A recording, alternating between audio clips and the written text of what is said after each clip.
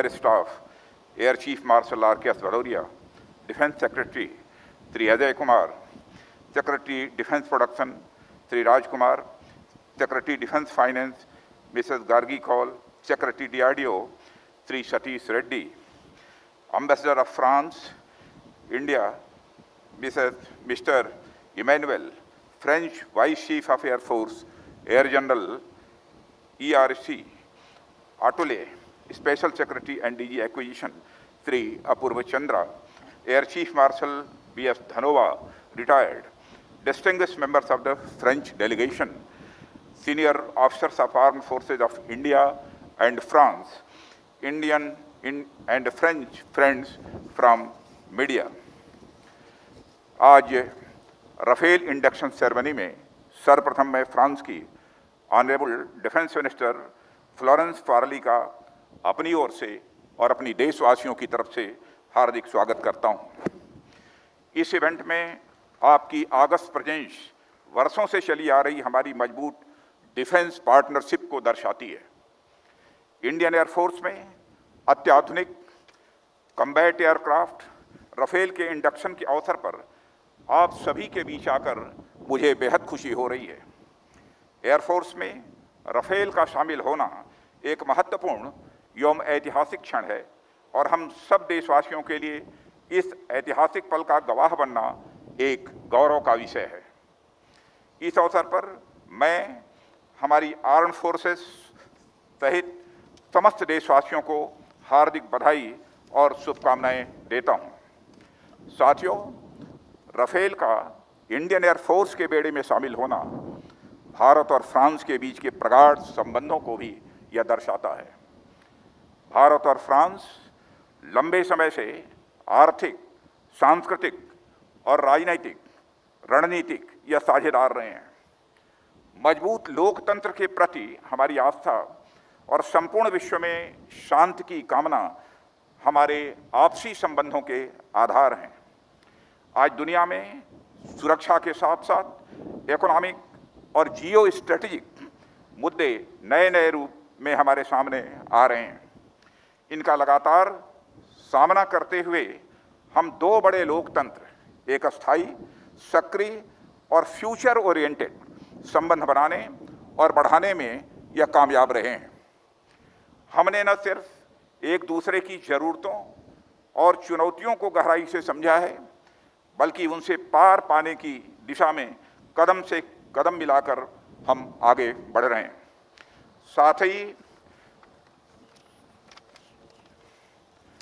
साथ ही हम दोनों देश लिबर्टी, इक्वलिटी फ्रेटर्निटी और वसुधैव कुटुंबकम के यूनिवर्सल प्रिंसिपल्स को मज़बूत करने एवं पूरी दुनिया में इसे प्रसारित करने के लिए भी पूरी तरह से कमिटेड हैं। साथियों, भारत और फ्रांस के बीच एक स्पेशल स्ट्रेटेजिक पार्टनरशिप है, जो समय के साथ लगातार मज़बूत हो रही है। भारत की स्वाधीनता के बाद हमारे देश और फ्रांस के बीच वाइब्रेंट डिफेंस कोऑपरेशन डेवलप हुआ है। आपसी रक्षा सहयोग से हमारी एयरफोर्स ने फ्रेंच फाइटर एयरक्राफ्ट से अपने आप को न सिर्फ़ इक्विप किया है, बल्कि अनेक मिशंस को सफलतापूर्वक अंजाम भी दिया है। 1965 के वार में पाकिस्तान के खिलाफ हमारी विजय इस बात की गवाह है। साथियों, एक बार फिर इंडियन एयरफोर्स ने 1999 में कारगिल में भी यह इतिहास दोहराया है। साथियों, हमारे मित्र देश फ्रांस के साथ रफेल डील भारत की नेशनल सिक्योरिटी में एक गेम चेंजर है। इसका लॉन्ग रेंज ऑपरेशन, अपने वज़न के बराबर आर्मामेंट और एडिशनल फ्यूल कैरियर कर कैरी करने की कैपेसिटी शार्ट लैंडिंग ग्राउंड से ऑपरेट करने की एबिलिटी, हाई स्पीड जैसी खूबियाँ इसे दुनिया के बेस्ट एयरक्राफ्ट में से एक बनाती हैं। अपनी मल्टी रोल कैपेबिलिटीज़ के साथ यह दुश्मनों के खिलाफ अचूक कार्रवाई करने में भी पूरी तरह से सक्षम है। मुझे आशा ही नहीं, पूर्ण विश्वास है कि हमारी एयरफोर्स ने रफेल इंडक्शन के साथ जो कैपेबिलिटीज़ और टेक्नोलॉजिकल एज एक्वायर की है, वे इंडियन एयरफोर्स की कैपेबिलिटीज़ को रिवर्सलाइज करेंगी। साथियों, आज इनका इंडक्शन पूरी दुनिया, खासकर हमारी संप्रभुता की ओर उठी निगाहों के लिए एक बड़ा और कड़ा संदेश है। हमारी सीमाओं पर जिस तरह का माहौल हाल के दिनों में बना है, या मैं सीधा कहूँ कि बनाया गया है उनके लिहाज से यह इंडक्शन बहुत ही अहम है। यह अपनी सीमाई सुरक्षा और क्षेत्रीय अखंडता को बनाए रखने के लिए सरकार की कमिटमेंट का भी एक बड़ा उदाहरण प्रस्तुत करता है। हम ये अच्छी तरह समझते हैं कि बदलते समय के साथ हमें स्वयं को भी तैयार रहना होगा।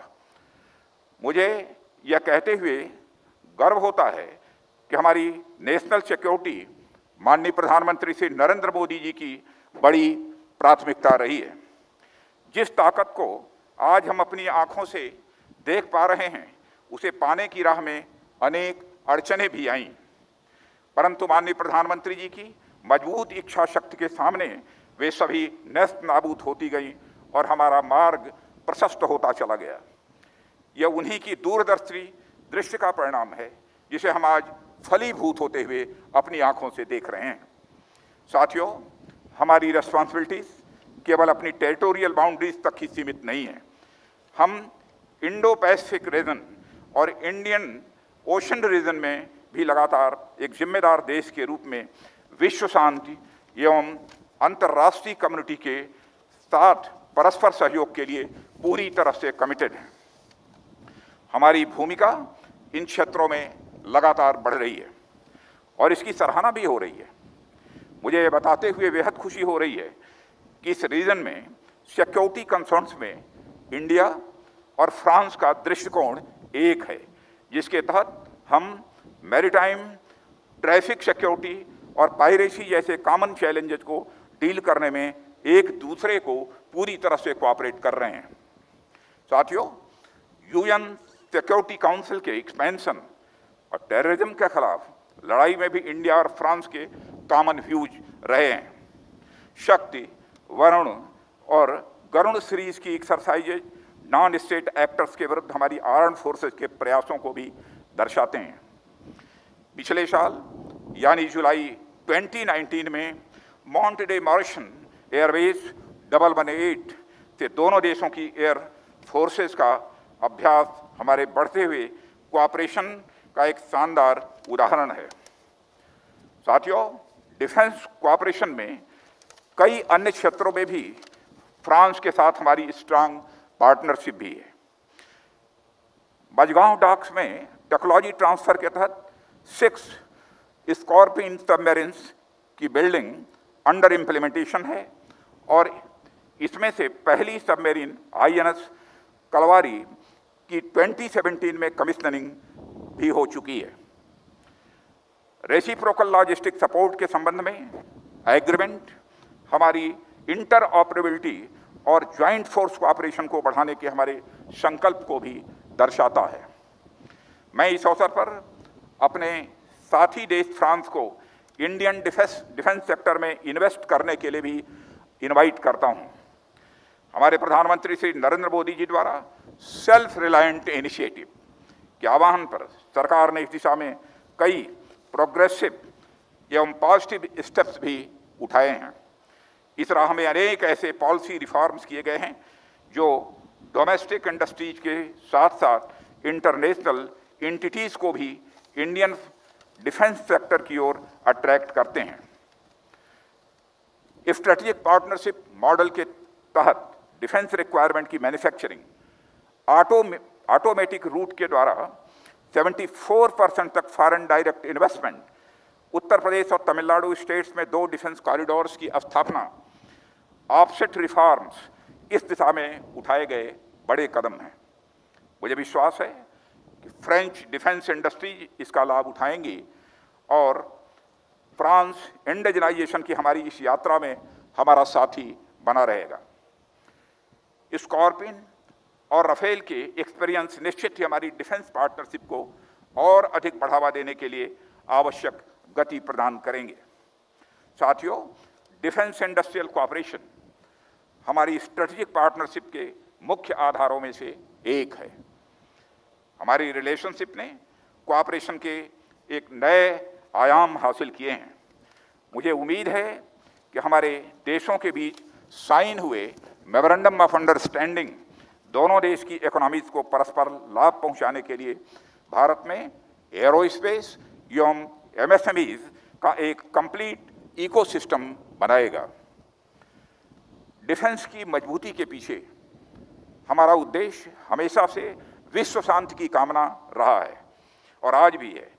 इस राह में हमारा देश कोई भी ऐसा कदम न उठाने के लिए कमिटेड है जिससे कहीं भी शांति भंग हो। यही अपेक्षा हम अपने पड़ोसी और दुनिया के बाकी देशों से भी करते हैं। और मैं यह बताना चाहूँगा कि अभी हाल की अपनी फॉरेन विजिट्स में मैंने भारत के पॉइंट ऑफ़ व्यू को समुचित विश्व के सामने रखा जिसे बड़े पॉजिटिव तरीके से देखा जा रहा है। साथ ही मैंने भारत की सॉवरेंटी और टेरिटोरियल इंटीग्रिटी को किसी भी हालत में समझौता नहीं करने के संकल्प से भी सबको अवगत कराया। और इसके लिए हम हर संभव तैयारी करने के लिए पूरी तरह से दृढ़ संकल्पित हैं। और मुझे गर्व है कि हमारी सेना की इरादे लोहे के जैसे मज़बूत हैं। साथियों, मैं आज यहाँ भारतीय वायुसेना के साथियों को बधाई देना चाहूँगा कि सीमा पर हाल में हुई दुर्भाग्यपूर्ण घटना के दौरान यलेशी के पास भारतीय वायुसेना ने जिस तेज़ी और सूझबूझ से कार्रवाई की, वह आपके कमिटमेंट को दर्शाता है। आपने फॉरवर्ड बेसिस पर जिस तेज़ी से अपने एसेट तैनात किए, वह एक भरोसा पैदा करता है कि हमारी वायुसेना अपने ऑपरेशनल दायित्वों को पूरा करने के लिए पूरी तरह से हर समय तैयार है। भारतीय वायुसेना ने ऑन गोइंग ऑपरेशंस में जो तेज़ी और पैनापन दिखाया है, उसने निश्चित ही सभी पोटेंशियल एडवर्सरीज को हमारे देश के इरादे के बारे में एक स्पष्ट संदेश दे दिया है। एक स्ट्रांग मिलिट्री पोस्चर के साथ एक्सट्रीमली कैपेबल प्लेटफॉर्म्स की तेज़ी से तैनात तैनाती एडवर्सरीज को किसी भी कार्रवाई करने से रोकेगी। साथियों, भारतीय वायुसेना डेटरेंस बनाए डेटरेंस बनाए रखने में एक महत्वपूर्ण भूमिका निभाती है और आपकी कार्रवाई किसी भी भावी युद्ध में निर्णायक होगी। जहाँ एक और हमारी भौगोलिक सीमाओं पर कायम परिस्थिति ने हमारा ध्यान खींचा है हमें स्पॉन्सर टेररिज्म के खतरे को भी नज़रअंदाज नहीं करना चाहिए। इसके अलावा economic biological and chemical warfare की पृष्ठभूमि में उभरती हुई टेक्नोलॉजी जैसे कि artificial intelligence cyber embedded cognitive systems and nano technology के कारण वारफेयर के नए क्षेत्र से भी शत्रुतापूर्ण गतिविधियाँ उत्पन्न हो सकती हैं। जिसके लिए इंडर, इंडियन एयरफोर्स को हर प्रकार की चुनौतियों की सामना करने के लिए अपनी कैपेबिलिटीज में निरंतर सुधार करना ही होगा। चैलेंजिंग सर्कमस्टांसेस में भी कुछ ह्यूमैनिटेरियन असिस्टेंस और डिसास्टर रिलीफ कार्यों में आपकी भूमिका के लिए भी देश आपका आभारी है और आपकी भरपूर सराहना करता है। कोविड 19 महामारी के दौरान देश की कार्रवाई में भारतीय वायुसेना का योगदान भी अत्यंत प्रशंसनीय रहा है। आपके ट्रांसपोर्ट, एयरक्राफ्ट और हेलीकॉप्टर के पायलटों और क्रू ने मिशन लाइफलाइन उड़ान और ऑपरेशन संजीवनी में अपनी अहम भूमिका अदा की है। उन्होंने नोडल सप्लाई बेस और समूचे भारत तथा विदेश के बीच एयर ब्रिजेस का भी काम किया है। साथियों आप हमारे नॉर्दर्न बॉर्डर्स पर सिक्योरिटी चैलेंजेस से भली भांत अवगत हैं। ऐसे में अपनी राष्ट्र और वैलूज की सुरक्षा के लिए हमें और अधिक मुस्तैदी से तैयार रहना होगा। हमारी चौकसी ही हमारी सुरक्षा का सबसे पहला उपाय है। हमारा देश और समाज आप लोगों की वजह से सुरक्षित और आत्म सम्मान की ज़िंदगी जी रहा है। हमें उसे किसी भी कीमत पर बरकरार रखना ही है।